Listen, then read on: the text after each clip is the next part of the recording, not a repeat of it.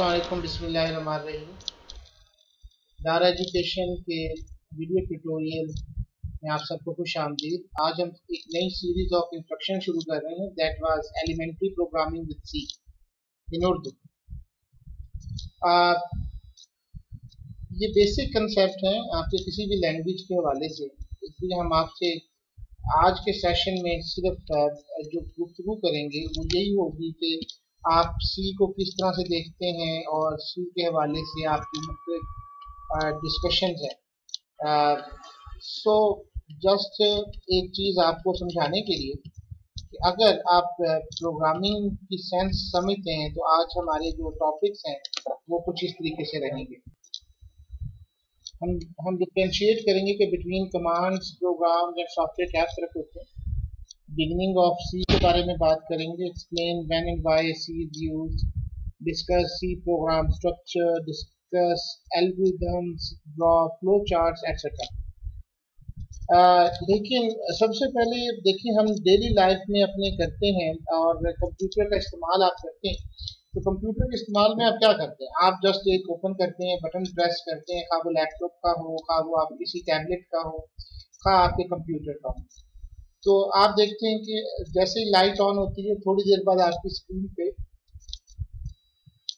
Window नमोदार हो जाती है। बेसिकली ये होता कैसे? जब उसको सप्लाई मिलती है तो वो एक कंप्यूटर जो है, वो एक इंस्ट्रक्शन पास करता है आपके सॉफ्टवेयर पर। और फिर वो सॉफ्टवेयर जो है स्टार्ट हो जाता है और perform different kind of activities होती है। इस सारे प्रोसेस को समझने के लिए मैं आपसे एक छोटी सी डिस्कशन करता हूँ। कि लेट्स सपोज़ आपका कोई दोस्त आपके घर में आया है और आप उसको स्ट्रॉबेरी मिल्क शेक पेश करते हैं आप स्ट्रॉबेरी मिल्क शेक बहुत अच्छा है और आपका दोस्त जो है वो आपसे क्वेश्चन करता है कि जनाब इसकी रेसिपी मुझे बता दें। तो आप उसे कहते हैं, जी कि थोड़ा सा दूध ले लो और कुछ स्ट्रॉबेरीज ले लो, उनको आपस में मिक्स करो चिल करो और मिल्क शेक बना लो। अगर तो आपका दोस्त समझदार है तो फिर तो ये एक्ट हो जाएगा। लेकिन अगर सिर्फ़ इन तीन इंस्ट्रक्शन के हवाले से बात की जाए तो क्या ये क्लियर है? टेक सम मिल्क भाई मिल्क कहाँ से लेना है, कितना लेना है, ये बहुत ज़रूरी था। यानी अगर हम इस एनालाइज करें स्टेप्स को take the first instruction is it complete no कितना मिल्क चाहिए? Where the milk has to be taken और कितना मकदार चाहिए? कहाँ से लेना है? सिमिलरली ये भी नहीं बताया जा रहा सेकंड में, उसने लिखा जी पुट स्ट्रॉबेरी क्रश क्रश कर दो जी स्ट्रॉबेरी को.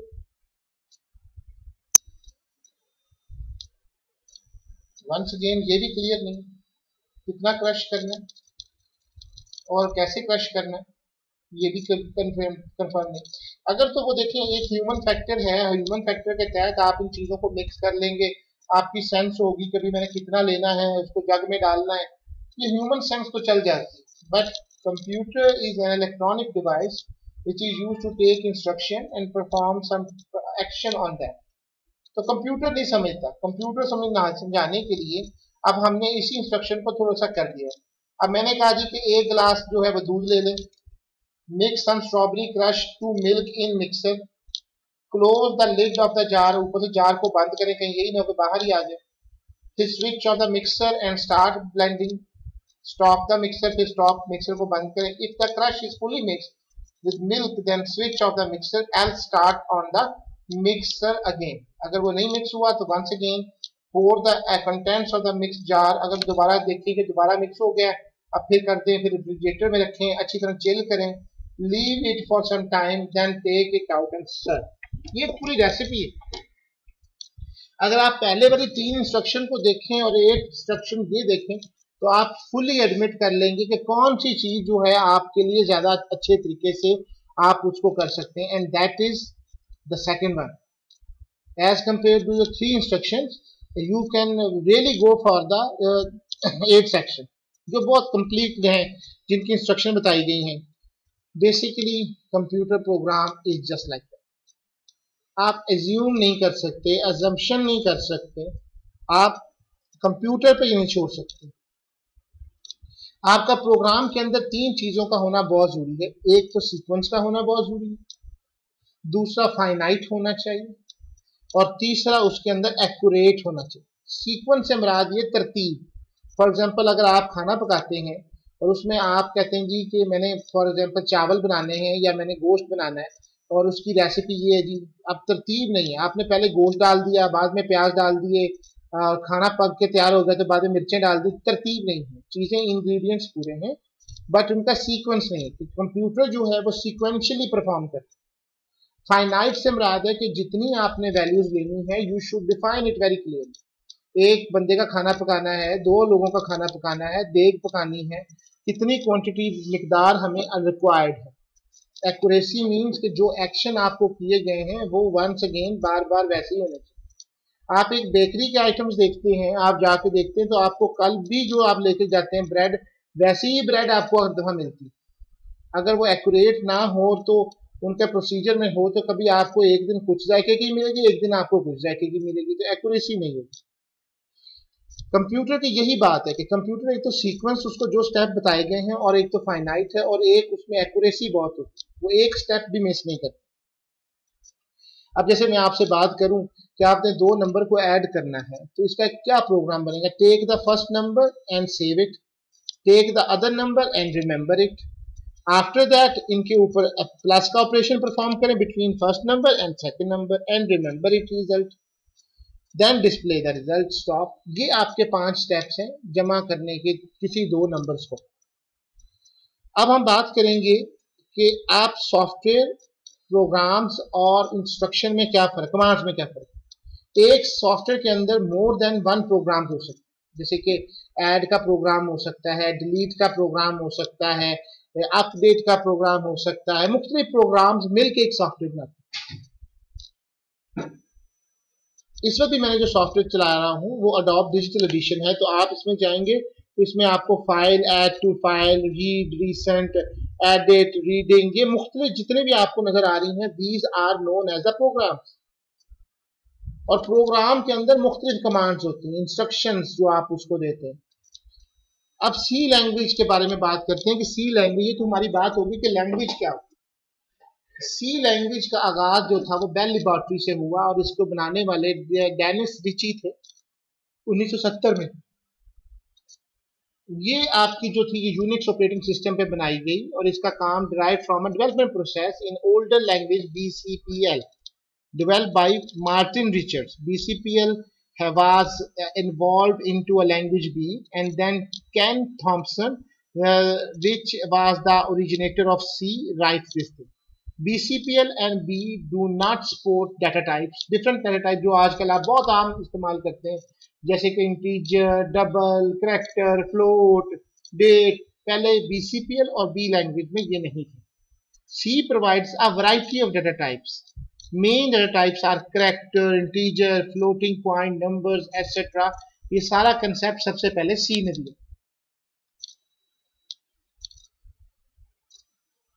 सी जो थी, क्योंकि यूनिक्स पे चलाई गई और इतनी स्ट्रांगली टाइप थी कि ये किसी और ऑपरेटिंग सिस्टम और मशीन पे चलती भी नहीं थी। C has been efficiently used to write program in different domains sorry मैं मैं बीसीपीएल की बात कर रहा था। बीसीपीएल बहुत टाइट थी, लेकिन सी जो थी वो नाइट टाइट थी। कि वो किसी भी ऑपरेटिंग सिस्टम पे चल सकती थी, एक ऑपरेटिंग सिस्टम एक मशीन के ऊपर नहीं थी कि जनाब सिर्फ़ आप बेल के ही कंप्यूटर पे चलाएँगे। यानी मशीन और प्लेटफॉर्म इंडिपेंडेंसी और इसने दी। सी जो है वो यूज़ की जाती थी सिस्टम प्रोग्रामिंग के लिए जैसे कि सी से आप विंडो बनाए सी से आपने और चीज़ें बनाई सी से आप और करते हैं summary language editors are usually use for that system was developed. C is now being used by many programmers for kind of tasks because its portability and efficiency. C को हम मिडिल लेवल लैंग्वेज कंसिडर करते हैं as compare to अगर आप low level language में चल हैं तो आपको असेंबली लैंग्वेज मिलेगी मशीन लैंग्वेज मिलेगी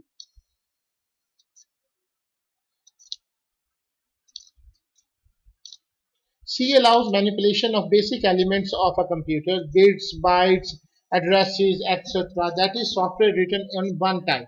Middle level इसलिए इसको कहते हैं कि इसमें आप दूसरी जो है उसके ज़रिए आप उनको बिट्स और बाइट्स में कन्वर्ट कर सकते हैं पॉइंटर्स हैं वर्ड्स हैं बाइट्स हैं C as a structure language the term block structure language does not apply to C A block structure language permits procedure and function to be declared inside another procedure or function. जो structure language थी इसके में concept यही था कि उसके आप blocks बनाएँगे और उसके अंदर ही वो काम परफॉर्म होगा C does not allow creation of function within function, so it is not a block structure language.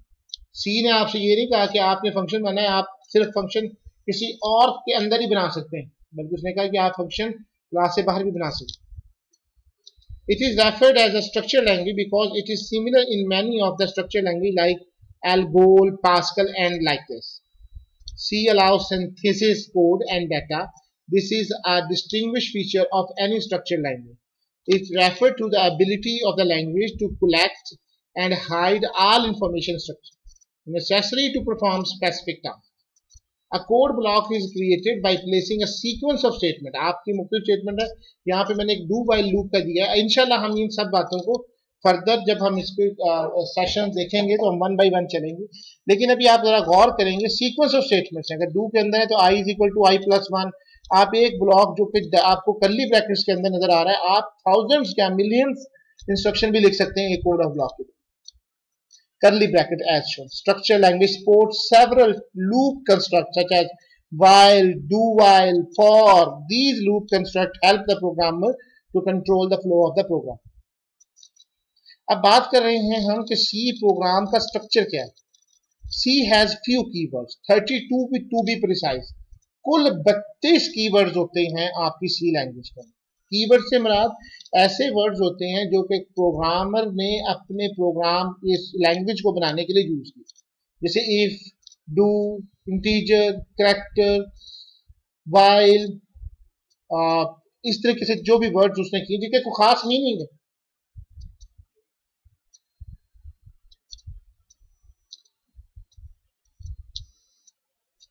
लेकिन इसके अलावा बहुत सारे कंपाइलर्स हैं इसके, जैसे टर्बो सी है सी प्लस प्लस अलहदा है और बहुत सारे इसके इस कंपाइलर आ चुके हैं। उन्होंने अपने कुछ कीवर्ड्स भी रिसर्च कर दिए हैं, लेकिन अलहदा बात है। अब जो है रूल्स क्या हैं इसके? All keywords are lower case आप जितने भी आप कीवर्ड्स इस्तेमाल करेंगे, उनको आपने लोअर रखना है। इफ़ आपने हमेशा छोटे वर्ड्स में रखना है डू वाइल आपने हमेशा छोटे वर्ड्स में रखना है, आप इनको कैपिटल वर्ड्स में नहीं रख सकते। C is case sensitive, do while is different from the do while. अगर आपने केस सेंसिटिविटी को समझना है तो डी का छोटा मतलब आस्की कोड हम पहले भी बात कर चुके हैं। अमेरिकन स्टैंडर्ड कोड इंफॉर्मेशन के मुताबिक डी स्मॉल लेटर का अलग कोड है और डी कैपिटल का अलग code so do while is never equal to the do while in capital keywords can not be used for any other purpose आप keyword को किसी जगह पे भी नहीं यूज़ कर सकते। They can not be use as a variable or function name. Main is always the first function when a program execution begins. क्यों कि discuss later in the section हम इनको नेक्स्ट सेक्शन में बात करेंगे कि why we use always main अभी बिन फ़र्ज़ आपको स्ट्रक्चर बताना है तो सबसे पहले आपने लिखा करना है मेन फिर उसके बाद दो स्मॉल पैरेंथेसिस लिखनी है, उसके बाद आपने करली ब्रैकेट्स और इसके दौरान आपने जितना भी कोड देना चाहें आप दे सकते फ़ंक्शन वगैरह को हमने डिटेल में डिस्कशन करनी है। लेकिन अब भी अगर हम बात करें फ़ंक्शन डेफिनेशन की तो C programs are divided into units called function the sample code has only one function main जो आपका मेन ऊपर फ़ंक्शन की याद रख लें, आप किसी भी लैंग्वेज में हैं, अगर दो स्मॉल पैरेंथेसिस आ रही है तो वो फ़ंक्शन है। The function name is always followed by the parenthesis the parenthesis may or may not contain parameters parameters वगैरह के बारे में हम इंशाल्लाह नेक्स्ट में बात करेंगे। ये क्योंकि आज सिर्फ़ तारफी हम पहला सेशन ले रहे हैं, इसलिए आपको बताया जा रहा है। हम जैसे से आगे चलते जाएँगे, हम इसके बारे में गुफ्तगू करते जाएँगे। The function definition is always followed by the open curly braces हमेशा जब इसको हम कहते हैं the curly braces signal the beginning of the function जब आप करली ब्रैकेट्स लगाते हैं तो इसका मतलब है कि अब आपका फ़ंक्शन स्टार्ट हो गया और जब आप करली ब्रैकेट बंद करते हैं तो इसका मतलब है कि फ़ंक्शन आपका क्लोज हो the opening braces indicate that a code block is about to begin and closing bracket terminate the block code there are two statement between the braces in addition to the function the braces are also use for to dial delimit blocks of code in other situation like loop decision making and etcetera इनको हम डेलीमेटर्स कहते हैं। Statement terminator जब भी आपने इसको terminate करना है किसी स्टेटमेंट को तो वो आपने सेमी कॉलन से टर्मिनेट करना है। इसका मतलब क्या होता है कि अब आपकी यहाँ तक इंस्ट्रक्शन जो है, वो कंप्लीट हो गई। कमेंट्स के लिए जब भी आपने कमेंट्स लगाने हैं सिंगल लाइन पे तो दो बैक स्लैशेस से आप इसको लगाएँगे, और अगर आपने मल्टीपल लाइन पे लिखना है तो बैक स्लैश स्टार और जहाँ पे आपने इसको टर्मिनेट करना है स्टार लगाने के बाद फिर बैक स्लैश आपने लगाना C library all C compilers come with the standard library of function that perform the common tasks. In some installations of C, the library exists in one large file, while in other it is contained in numerous system files. जो पहले से आपकी सारी files बना दी गई हैं उन सारी फाइलों को एक लाइब्रेरी के अंदर रख दिया गया है उन फाइलों को आप इस्तेमाल कर सकते हैं The function contained in the library can be used for various tasks. A function written by a programmer can be placed in a library and to be used by the another program and when required. जब आपने compile करना है आप कौन सा वाला processor इस्तेमाल करेंगे वो आप उसके ऊपर डिपेंड करता है the source code is written using editor in the word processor code should be written in the form of the standard text file as C set source code only in this form. Some compilers supply programming environments. वो हम इनके बारे में बात करेंगे कि कौन सा हमने यूज़ करना है। सी प्री प्रोसेसर है और फिर सोर्स कोड है text of the program expanded C source code the C processor expand the directive and procedures और produce and output this is called the expanded C source course जब आप उसको compile करते हैं तो वो आपका एक एक्सपेंडेड सी कोर्स बनाता है C compiler translate the expanded source code into the machine language वो जो कोड आपका एक्सटेंडेड करके बनाता है, आपकी लिखे हुए लैंग्वेज से प्रोसेसर उसको कन्वर्ट करता है मशीन लैंग्वेज में which is understand by the computer if the program is too large it can be put in separate files and each of the files can be compiled separate अगर बहुत बड़ा programme है तो आपका processor उनको अलग अलग फाइलों में रखेगा, फिर सबको इकट्ठा कर देगा और चलाएगा। Linker the object code along with support routines from the standard library and other separately compiled uh, functions are linked together by the linker to an executable code loader executable code is run on the using the system loader इस पूरे process को इस तरह से समझाया जा रहा है सबसे पहले आपकी सोर्स फ़ाइल आई वो कंपाइलर के पास जाएगी जितनी भी आपने इंक्लूड फ़ाइल लाइब्रेरी से की होंगी वो सारी की सारी इंक्लूड वहाँ पे इंक्लूड कर दी जाएँगी कंपाइलर के बाद एक ऑब्जेक्ट फ़ाइल बनाई जाएगी और इसकी एक लाइब्रेरी फ़ाइल बनेगी। ऑब्जेक्ट फ़ाइल के बाद एक लिंकर फ़ाइल बनेगी। Other use generator object file जितनी भी बनाई है, उन सबको लिंक कर दिया जाएगा, फिर एक एग्जीक्यूटेबल फ़ाइल बनेगी। अब हम लास्ट टाइम पे आपसे आज की बात जो करना जा रहे हैं, वो ये कि programming approach of solving problem होती किस तरह से? आपकी अप्रोच क्या? लेट्स सपोज़ मैं आपसे बात करता हूँ कि आपने बेसमेंट में आपकी ना कैफेटेरिया आपके कॉलेज के। तो आपने बेसमेंट में जाके कैफेटेरिया में जाना और आप इस वक्त सेकंड फ्लोर पे हैं थर्ड फ्लोर पे तो आप क्या करेंगे? क्या आप एकदम से अपनी आँखें बंद करेंगे कि दोबारा खोलेंगे तो आप कैफेटेरिया में होंगे? नो ये बैनिश होने वाला या सब तस्वराती नहीं है। आप ऑब्वियसली उसके लिए क्या करेंगे? आप अपनी सीट से मूव करेंगे। कमरे से बाहर निकलेंगे। आप देखेंगे कि किस तरह मुझे डायरेक्शन में जाना है। उस तरफ़ जाएँगे सीढ़ियाँ उतरेंगे बेसमेंट में जाएँगे फिर अपनी डायरेक्शन को फिर तब्दील करेंगे और आप कैफेटेरिया की तरफ़ जाएँगे। ये एक प्रॉब्लम सॉल्विंग है। यही बात हम आपसे कर रहे हैं कि leave the room, head towards the staircase, go down to the basement और फिर हैड टू the cafeteria. ये सारी प्रॉब्लम अप्रोच हैं। आपके सॉल्व करने के तरीके हैं कि किस तरह से आप चीज़ को परफॉर्म करें। ये जो चार स्टेप्स मैंने आपको दिए, इनको हम कहते हैं एल्गोरिथम ये मुस्लिम साइंटिस्ट अलख्वारजमी की बेस पे उसने एक तरीका बनाया कि आप कोई भी काम करें, उसके आप स्टेप्स डिफाइन कर लें, जिन स्टेप्स तक आप काम अप्रोच करें, वो एल्गोरिथम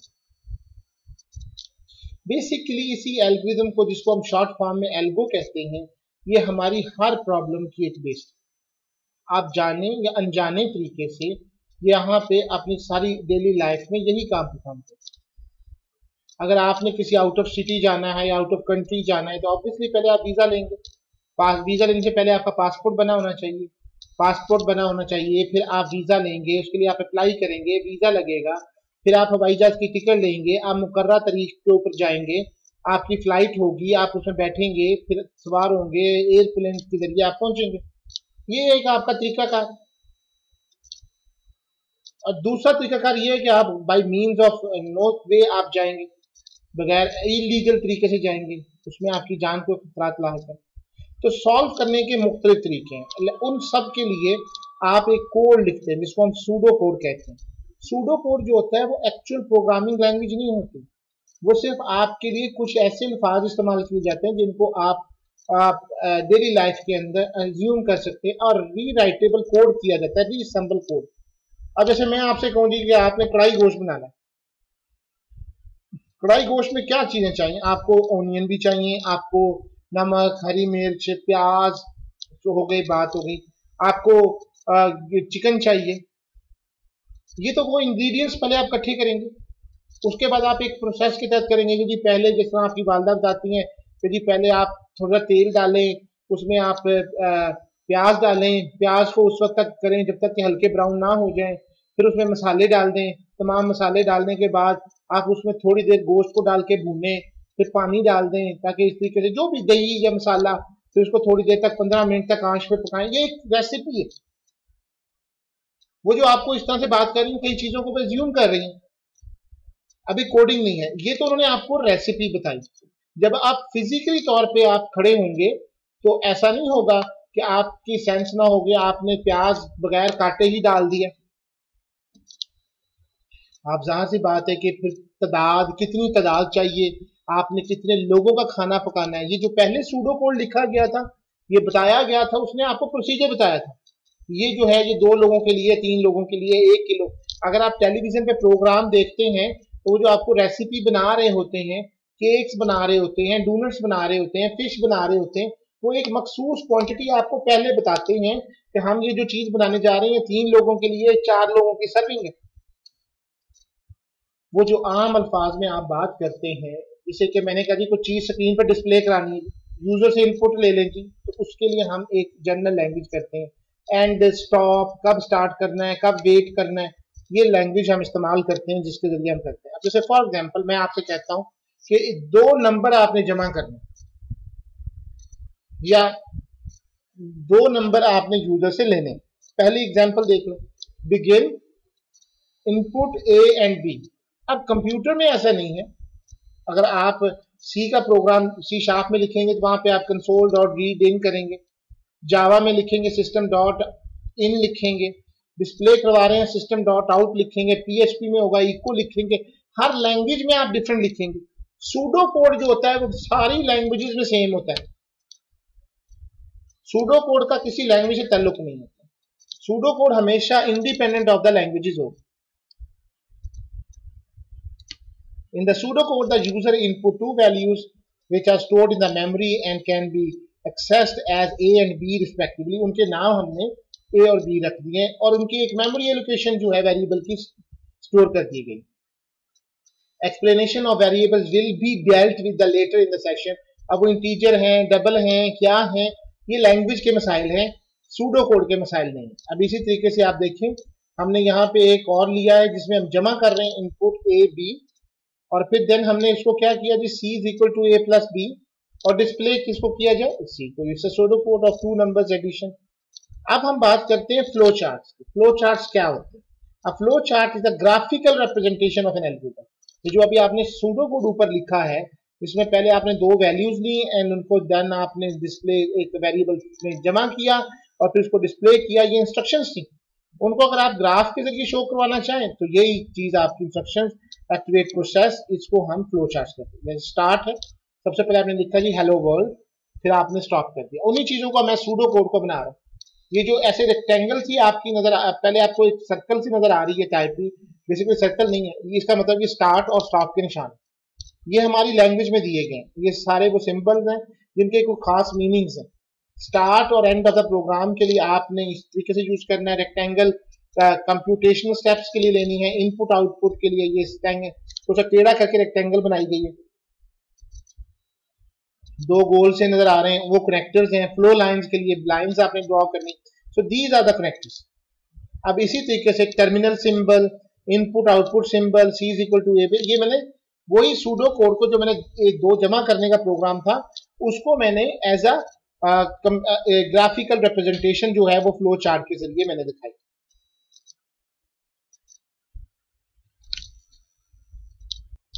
अब जैसे इफ़ कंस्ट्रक्ट की बात करें basic selection construct is an if statement if से मुराद क्या है कि अगर आपने कोई सिलेक्शन लेनी है तो उसको किस बेस पे लेनी जैसे फॉर एग्जांपल आप कहते हैं जी कि अगर किसी कस्टमर ने 100 डॉलर खरीदे हैं परचेज किए तो हम उसको 10 फ़ीसद डिस्काउंट देंगे give 10%. The construct use as if statement like this. If condition, statement और एरो का निशान इंडिकेट कर ये सूडो कोड लिखा हुआ कि जिस तरह से वो इंडिकेट करेगा अब इसी की हम ग्राफिकल रिप्रेजेंटेशन और इसको हम इस तरह देंगे input number R is equal to num mod two अगर आप इवन निकालना चाहते हैं if R is equal zero this number is even बहुत सिंपल सी बात थी।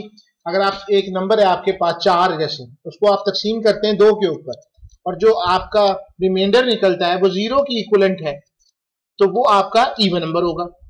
अब तीन है, उसको आप दो पे तकसीम करते हैं remainder is equal to one आता है तो जब ये वन आएगा तो जो उसकी बॉडी है, वो उसके अंदर नहीं जाएगा तो इट मीन के it is not a even number so so, इसी चीज़ को इसी एग्ज़ाम्पल को आप इसकी इस तरह से रिप्रेजेंट कर सकते हैं। स्टार्ट इनपुट नंबर आपने उसी तरह देखा जिस हमने पहली बात की R is equal to number mod over two अगर R is equal to zero है तो वो डिस्प्ले यस है तो नंबर इज़ इवन और नो है तो प्रोग्राम आपका शट डाउन हो जाए। So this is a graphical representation in the flow chart of that program so here are many different kind of examples for you जिसके ज़रिए हम इसको करेंगे। और आज की यही टॉपिक थे ताकि आपको ग्राफिकल रिप्रेजेंटेशन और ये चीज़ें हो सकें। और उम्मीद है कि आपको ये लेक्चर पसंद आया होगा। और जो समरी है, वो कुछ इस तरीके से है। Software is a set of program जिससे हमने बात की कि एक सॉफ्टवेयर के अंदर मुख्तु प्रोग्राम हो सकते हैं। A program is a set of instruction ये याद रखना है आपने। Code is blocks form a base of any C program. There are 32 keywords. Step involved in solving problems, studying that problem detail. आप उसको डिटेल में करें एल्गोरिदम लिखें सूडो कोड लिखें फ्लो चार्ट्स बनाएँ flow charts can be broken into parts and connectors when we come across a condition statement if किस तरह लेना है एल्स किस तरह लेना है they are the following things are discuss in this chapter so उम्मीद है कि आपको पसंद आएगा। Thank you very much and